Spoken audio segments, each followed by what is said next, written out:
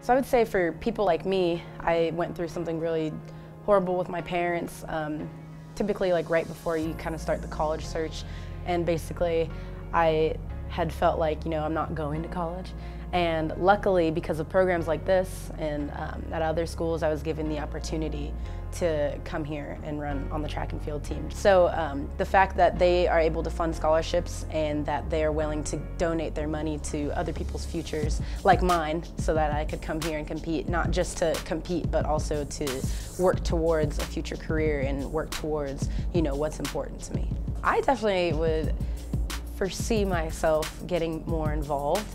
Um, I definitely would like to possibly be a part of the Go Norse Fund.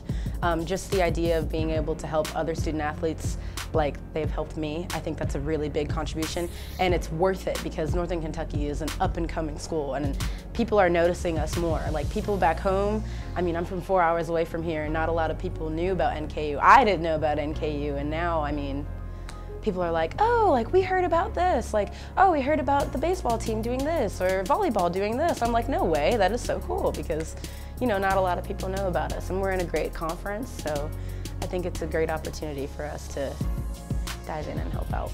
Definitely being able to contribute to not just people being able to come in and compete for, you know, whatever reason, but also people's careers, people's futures. You know, you're investing in student athletes' futures, not just their opportunity to come play a sport that they've loved playing for X amount of years. College is the opportunity to find your profession, to find you find what you're passionate about. So being able to give them an opportunity to come here and do their studies and then also do what they love to do, that's a really big deal.